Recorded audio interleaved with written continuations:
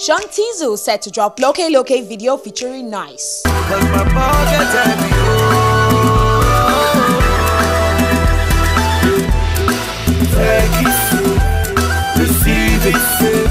Award-winning singer and next-rated act for 2013, Sean Tizzle, has revealed he's set to drop his Loke Loke video featuring 9ice off of his highly impressive debut album, The Journey. The video was shot in South Africa and would serve as a follow-up to his buzzing video, Perfect Gentleman. The video, which was directed by Unlimited LA, is expected to drop this week. Let me be a, a perfect gentleman.